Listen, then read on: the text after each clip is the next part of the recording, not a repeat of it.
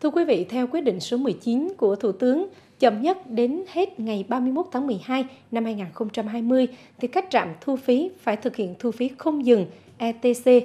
Hiện các đơn vị đã hoàn thành việc liên thông về mặt kỹ thuật và hoàn thiện hồ sơ pháp lý để từ ngày mai ngày 1 tháng 1 năm 2021, khách hàng chỉ cần dán thẻ của một trong hai nhà cung cấp dịch vụ VETC và ePass là có thể lưu thông qua các trạm thu phí trên toàn quốc.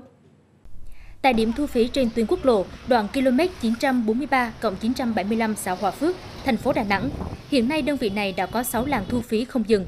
Ghi nhận của phóng viên trong chiều 30 tháng 12, tại trạm thu phí này, lượng xe đi vào làn thu phí bằng sử dụng vé đông hơn hẳn so với làn ETC. Tại các làn thu phí bằng vé truyền thống, với lượng xe đông, việc dừng lại thu phí, phát vé mất thời gian đã khiến hàng loạt xe phải nối đuôi nhau đợi để đến lượt lấy vé.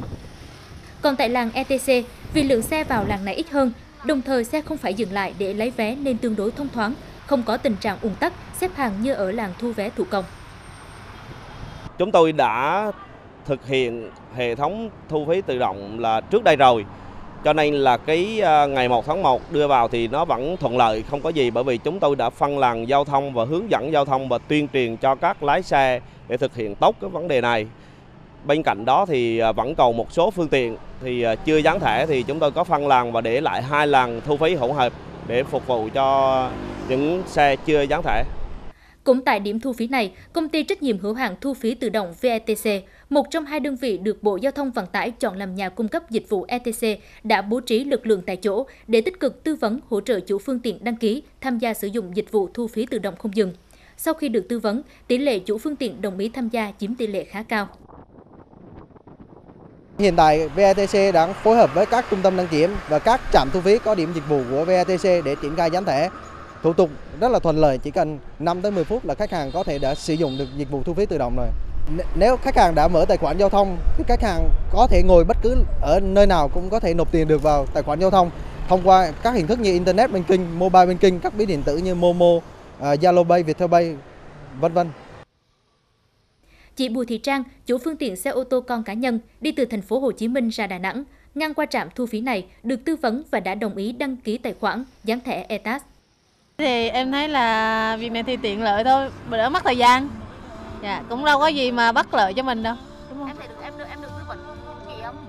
Thì ý là em chỉ qua được anh này tư vấn thôi chứ còn hồi trước giờ thì em chỉ thấy thôi chứ em chưa có biết. Dạ nhanh, thấy cái rẹt cái xong mà. Việc bắt buộc thu phí tự động không dừng nhằm tăng cường hơn nữa công tác quản lý, giám sát và công khai minh bạch thu phí của chủ đầu tư. Ngoài ra còn tạo sự thuận tiện cho người tham gia giao thông, tiết kiệm chi phí xã hội, góp phần quản lý chặt chẽ phương tiện giao thông đường bộ, bảo đảm trật tự, an toàn giao thông, vệ sinh môi trường. Tuy nhiên, hiện chưa có quy định bắt buộc tất cả các phương tiện phải dán ETAS và nộp tiền vào tài khoản trả trước. Do đó, hiện mới chỉ có khoảng 25% phương tiện dán thẻ ETAS, trong đó có hơn 50% chủ xe dán thẻ đã thường xuyên nạp tiền sử dụng dịch vụ này. Hiện ngoài công ty trách nhiệm hữu hạn thu phí tự động VETC, thì mới đây, Bộ Giao thông Vận tải chọn Viettel là đơn vị thứ hai cung cấp dịch vụ thu phí tự động với tên gọi ePass. Theo đơn vị quản lý, việc triển khai thực hiện quyết định số 19 của Thủ tướng đạt kết quả cao hay không còn phải trông chờ vào nhận thức và thái độ của chủ phương tiện về thu phí tự động không dừng.